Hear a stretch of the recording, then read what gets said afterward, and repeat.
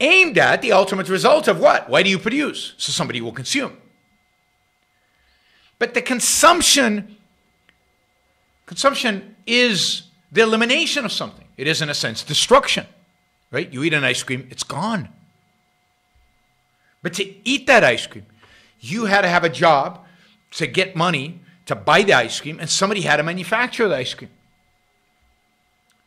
So, this real simple observation about economics somebody has to make the stuff, stuff has to be made, is the argument against stimulus packages. You don't want to stimulate consumption. What you want to stimulate, if you're going to stimulate anything, is job creation, which means production. You want to stimulate anything, you want to stimulate entrepreneurship, business creation, business expansion, business investment, employment. That is what creates wealth. That is what raises the standard of living. That is what makes people rich and what makes economies prosper. It's production, production, production. Consumption's easy. Once you produce the stuff, you tell people you produce the stuff, and the stuff is any good, people will buy it. I mean, you have to have the right price and the right marketing and all of that. But if you do a decent job, people will buy it. So production is what makes economies thrive. Production is what makes life possible. The other thing is to remember, and this is a, a basic point about human nature, other animals live and thrive just on what nature provides. You know, the lion chases down the antelope and eats it. Antelope was there. It always will be there. And antelope goes away. He'll chase down, I don't know, some other animal and eat it. But it's just, stuff is there. The stuff the animal needs in order to survive is there. And when it's not there, the animal dies. Human beings don't work that way. Human beings change their environment to fit their needs. Human beings produce. It's what makes us uniquely human and why the environmentalist movement is so full of it. Because the production is only possible by changing our environment, by using the environment to satisfy our needs. So we look at the world, we don't just take the antelope, we breed antelopes, breed chickens, we breed cows, and we eat them. We produce. We don't just pick the nuts and the berries, we create agriculture. And now we have unlimited food. We change our environment. We change our environment to suit our needs. That is the uniquely human way of survival, of thriving. So the environment there is for us to manipulate, to change, to exploit for the sake of human life. That's how human beings survive. And we're part of nature. So that's what nature gave us through evolution as our means of survival, as our means of living, as our means of thriving. And if we need to, we, we modify, yeah, we modify the genetics of our food to make it better, to make it more nutritious, to make it more plentiful.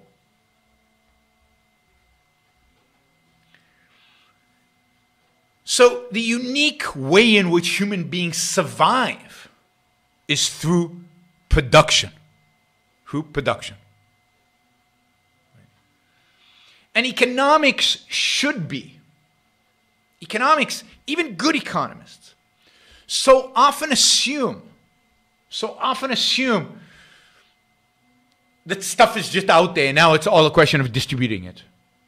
You know, when economists say, even good economists, Thomas Sowell, for example, they say economics is a study of, I don't know, allocation of resources under scarcity. No! there is no scarcity. Not in any kind of meaningful sense. The study of economics is about how we don't have scarcity. The study of economics is the study of production. It's the study of creation. It's the study of turning things that are useless for human beings into things that are useful for human beings. So economics is the study, in my view, if you want to define economics, is the study of production and trade. There's no scarcity in that definition.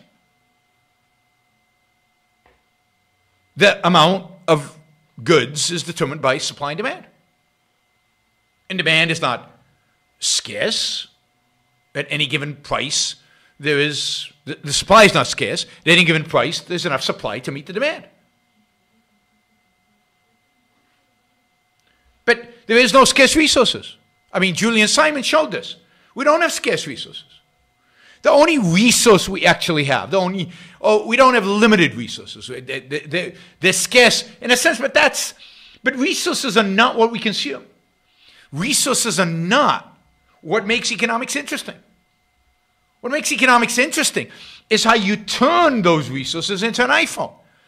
The iPhone is what's interesting. The production of the iPhone is interesting. The supply chain of the iPhone is interesting. The marketing and sales of the iPhone is interesting. The supply and demand for iPhones is interesting. Competition to the iPhone is interesting. The raw materials, who cares? That's not economics. It's not the interesting part of economics. It's not the important part of economics.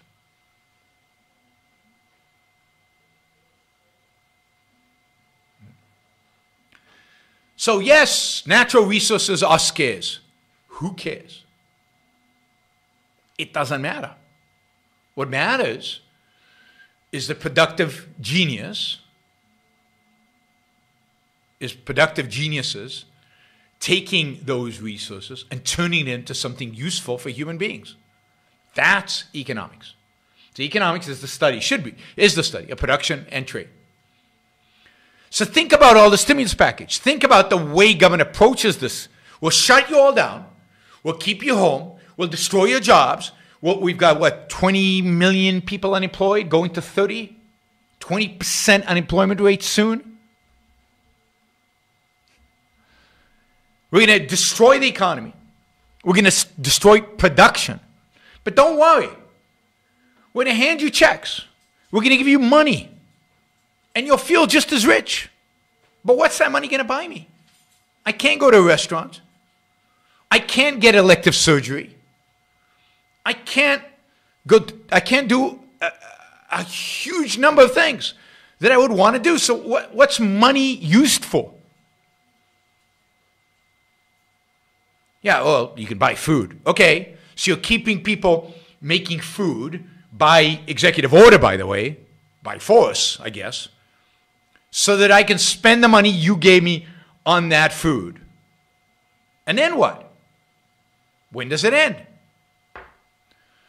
So, stimulus packages are useless. They're transferring money from one pocket to another pocket. They are destruction of production. They are trying to ignore, trying to ignore the laws of economics and we will pay a huge price for this, a huge price for the stimulus package, for the whole economic program that the Trump administration with, uh, with Nancy Pelosi have come up in order to try to invigorate the U.S. economy.